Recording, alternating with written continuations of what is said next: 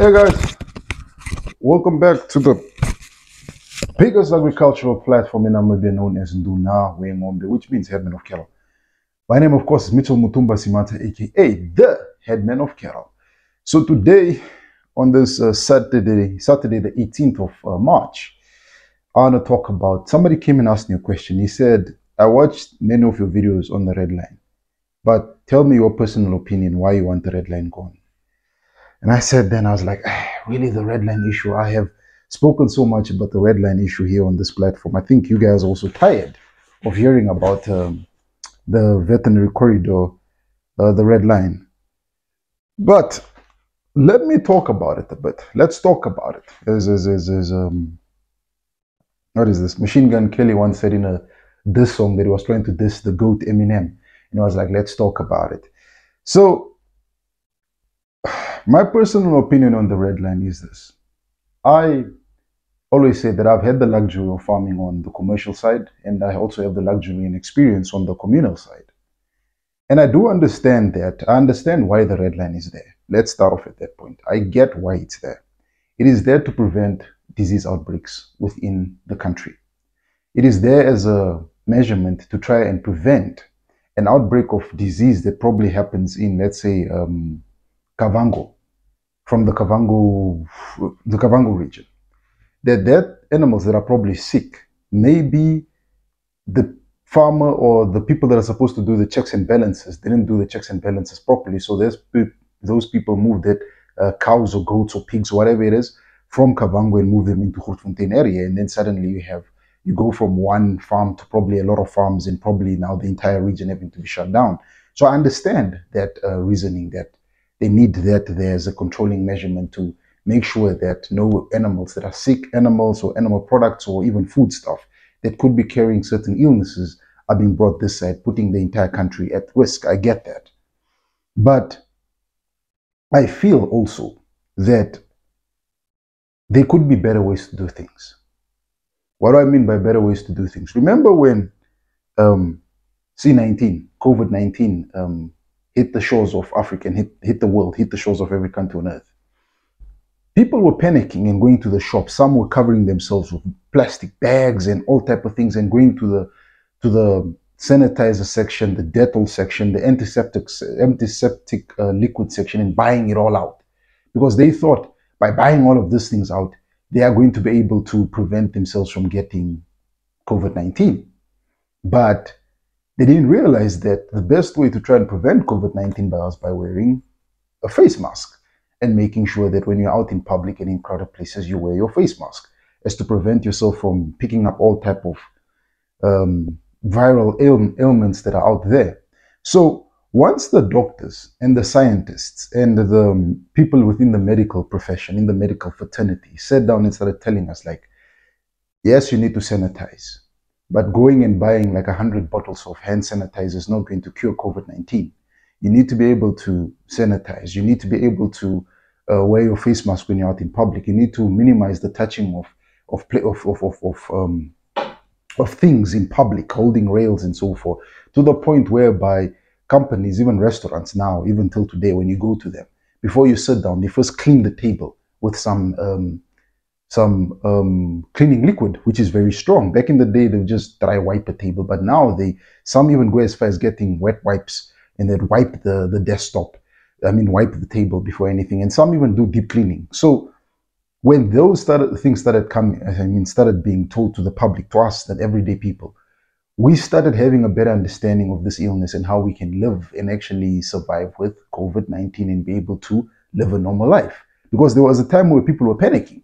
You couldn't, people were even scared to go out to the shops. People were even scared to, to just stand outside because you're scared you're going to get it.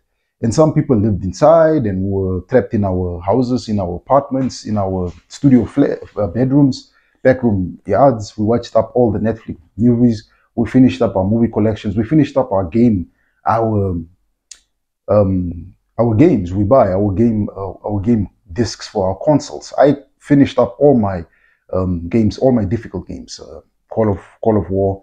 Uh, is it Call of War? Yeah, Call of War. Um, World War Two. Uh, Assassin's Creed Valhalla. I finished that. I completed half of my games. Even FIFA, the soccer game, started becoming boring because I've won almost every trophy. So then you also had situations where depression started setting in because now you can't go out and see people. Sometimes you try to call them, people aren't answering you, watching the news. 100 people are dying, 200 people are dying, 1,000 people have been admitted, so many people are on uh, ventilators. It really became a situation whereby it was a very depressive very depressive time, and people who didn't live or live with depression were experiencing, started experiencing depression, and those that have depression were probably having the worst time of their lives. So when we started getting the education, we started understanding how to mitigate against getting COVID 19, keeping yourself and your family and friends safe. And I think that is my policy when it comes to the red line and uh, the various diseases that you find up in the northern part of the country. The first thing I believe is better education of the people. I still think many of our people do not understand certain illnesses. I am on a group with farmers from Zambezi where some of the farmers, even one man once said that when his cows have certain illnesses, he gives them roots and leaves. I don't know how clinically proven that rem, uh, traditional remedy has been proved, uh, proven to say that it, it uh, minimizes this illness, it prevents this illness. I don't know. But many people still have that mindset. Many people still do not know certain illnesses. I am on a group every day, and you'd think a region like Zambezi region, where diseases like, let's say, um, lumpy skin disease, LSD, would be a common thing to many of them because they have to know it. it. I think it breaks out almost every year, every every after the rainy season, slumpy skin happens. You would think that many of them would know what this illness looks like and how it's supposed to look like, but they don't. Some of them probably say it's pimples or it's it's it's it's growths on the cow's skin. They don't know what it is, and so they don't know how to uh, treat it. They don't know how to buy the right medication to start dosing and treating the animals. And then you get situations where some don't even know the scurvy, the scabby mouth illness that goats get, but you're in a region where this illness breaks out almost every year due to the type of condition and so forth. So that's why I've said that and said, nah, man, there needs to be better education on the illnesses that are very common in the northern communal areas, particularly because the northern communal areas, you have the central northern part, you have the northeastern, you have, you have the northwestern, eastern, you have the northwestern, which is the Kunene, and then you have the northeastern, which is now Kavango in the Zambezi region. People need to be better educated on the type of illnesses that exist in those regions. Once farmers know that in the region that I live in, when it's rainy season, lumpy skin and probably other illnesses break out, this and this and this and this are the type of medication that I should buy to maintain to maintain and inoculate my animals to maintain and inoculate my animals and help and help them keep, keep them safe from contracting certain illnesses. But when people do not know, when people do not know, illnesses will continue happening because I don't know. If I don't know what it is, if I'm seeing my neighbor busy injecting his animals, and my neighbor doesn't share that information to say, no, man, I'm, I'm, I'm, I'm using this, uh, for example, this bottle of medication, it's to prevent lumpy skin disease. If my neighbor doesn't share that information with me, I will not know that I need to be injecting for lumpy skin. And then the illness like lumpy skin happens, animals lose their appetite, animals start dying left, right, and center, and we don't know. It suddenly goes from one kraal to over 100 kraals. And that's how easily the illnesses are spread within certain villages because some villages are literally in close proximity, or if, if we're not in close proximity, our animals aren't keep, kept in uh, grazing camps. They are literally just let out by a herder who takes them by a herder or back in the day, they would say American ranches. You you watch the cowboy movies where the cowboys would get on their horse and take the cows out to the prairie, to the prairie or the pastures, as they would say, to go graze. We say uh, to the veld in Afrikaans or to the grazing areas. You take the animals out to go graze and you leave them. They graze there. There would sometimes be a natural lake, a natural drinking water body there. They would graze from the grass and then go drink it at a natural water body. And that's how the diseases would start spreading amongst the animals because of their close proximity to each other. Now you're getting animals that are probably vaccinated for an illness and animals that are probably not vaccinated for an illness coming into close contact with each other and spreading whatever illnesses they can spread amongst each other.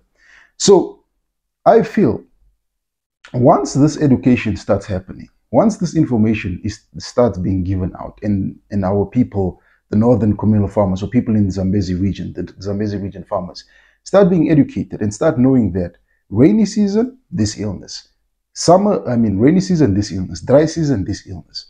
Winter, this illness. Summer, this illness. These are the things that I must be paying attention to. And they start realizing that we need to be inoculating our animals, not just once. Because I know some farmers just inoculate once and then they it's done. You know, it's like saying I've inoculated my cows, I've inoculated my goats, I'm happy. It's done.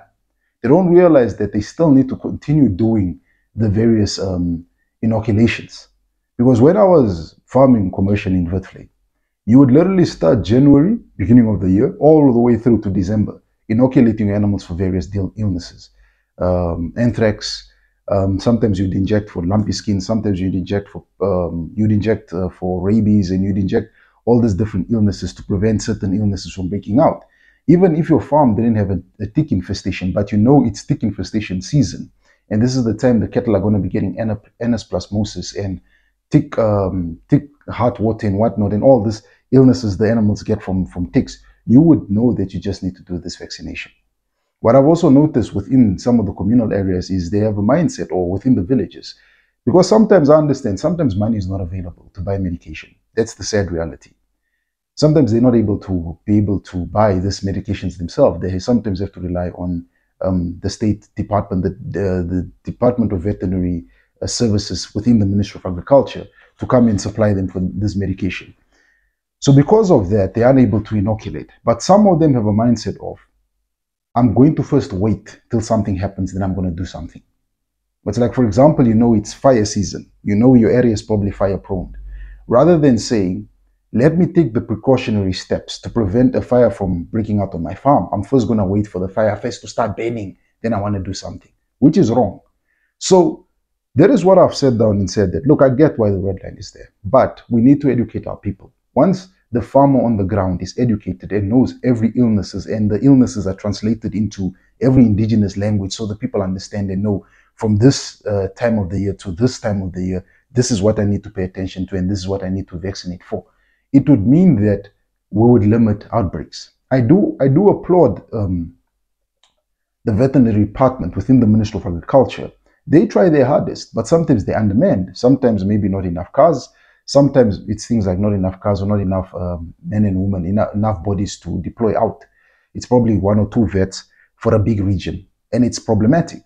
This is why I'm saying that we must then educate, empower, inform, educate, empower, and inform our farm, our farmers to be able to do these inoculations themselves, to be able to identify the illness themselves and be able to take the precautionary steps to prevent this illness from breaking out. Once we do that, then we are going somewhere.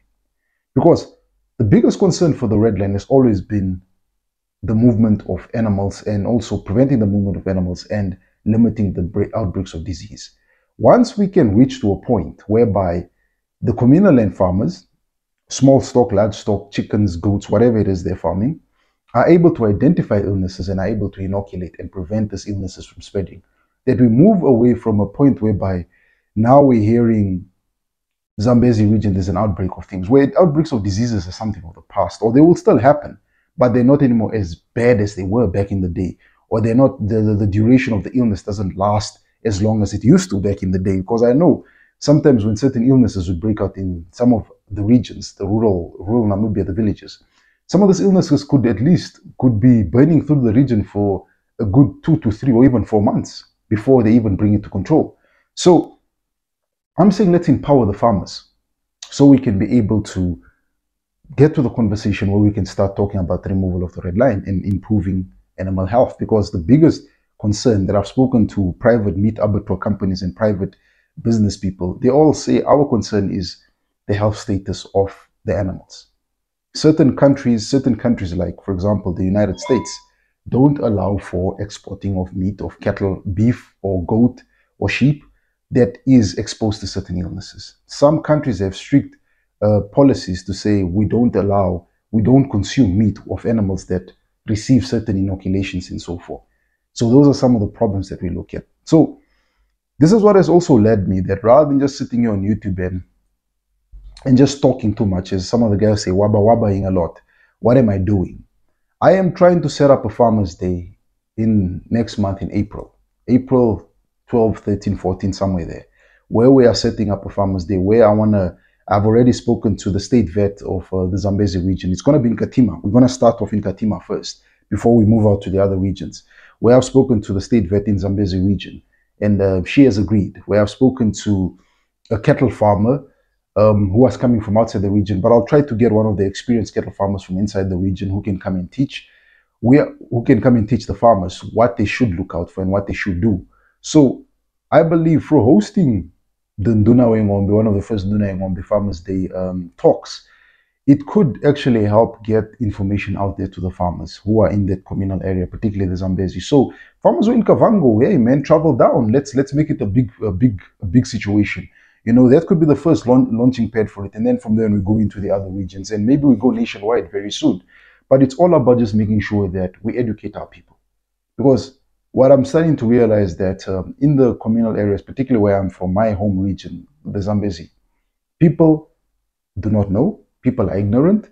And when people are ignorant, uh, there's a word, there's a saying that goes, ignorant people are dangerous people. Because of their ignorance, they can become very dangerous by making statements or making decisions that are not well educated or well informed. So this is what led, led me to sit down and say, we need, I, myself and the people that are helping me, my YouTube channel needs to go to Zambezi and needs to go host the Farmers Day. And we need to educate people and we need to invite various experts in the field of agriculture, particularly in the animal. We're first going to focus on animals in the in the field of animal husbandry to come and educate. Because I feel like people are not well informed, people are not educated on certain topics. And this is why many of the people make the, make the decisions and make the mistakes they do in that region. So that is what I'm looking at. And that is something that I want to bring, God willing. God willing, it's going to happen in April because it's it was supposed to be happen in January, but we've always been I've always been moving it because something would come up. But hopefully we'll we'll finally conclude um, the venue and everything uh, back home then in, in, Zambezi so we can have it. And tickets will be going up for sale. Tickets will be going up for sale very soon. You can book early. You can book now early bird tickets, or you can go book at the venue itself because that's what I want to do. I want us to come together as the farming community of Zambezi and see how we can improve the farming community the, the livestock farming environment for Zambezi. So the farmers get better prices, better access to market, uh, less of this negative um, negative um, information that's out there when it comes to the northern communal, particularly the Zambezi region. The information that's out there. So I want to improve it and I help them. I'm saying like uh, when Cyril Ramaphosa came in as president, he was saying Thuma mina.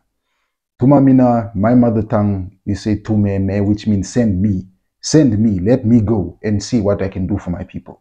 I know many people are telling me, hey, why is Zambezi? You know how our people are. Our people don't like supporting things. But I believe the farmers in Zambezi region are going to come out in numbers. And also farmers from maybe our neighboring regions like Kavango or even from, yeah, from other parts are probably going to come through. And we're going to have a hell of a farmers day where we will be doing some education and informing and just informing and educating our people on what is the new thing they need to pay attention to how can we stop diseases? How can we improve our farming?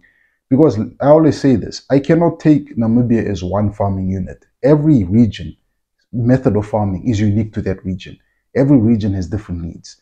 So I'm hoping April 13, that weekend of April the 10 going to April 14, that weekend, that week, Farmers Day will be up and going. We'll be we'll be having it live in the Zambezi region. And the sponsors that I've reached out to will respond and tell me they're on board so we can get this thing going. So with that said, ladies and gentlemen, that is my opinion on um, the red line. Do I believe it should go? Yes. But I believe that it should be done with informed and scientifically backed uh, information so we do not destroy the meat industry. But we actually create a meat industry that's inclusive for everybody. With that said, ladies and gentlemen, I just want to say bye for now.